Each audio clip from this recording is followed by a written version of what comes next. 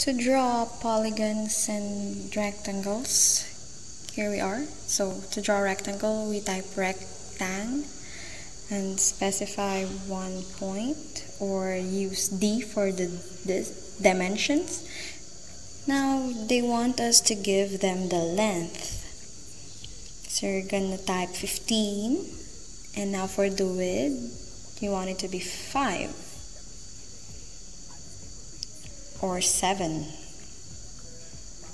So now there's our rectangle with a length of 15 and the width of 5. 7 rather, sorry. Now for the polygon, I want it to have 5 sides.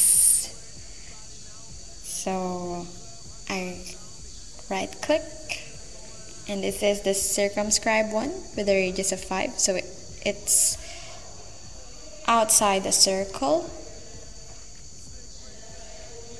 Next one is the polygon with 5 sides again. So a pentagon. Right click.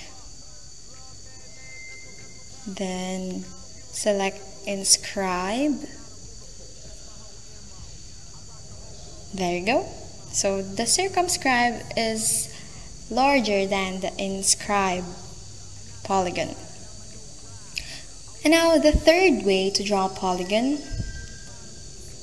is to right click and select edge.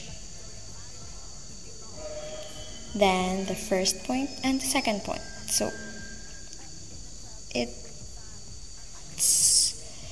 rather odd looking. But yeah, that's the edge. So it's okay there. So that the edge, the inscribe, and the circumscribe. So that's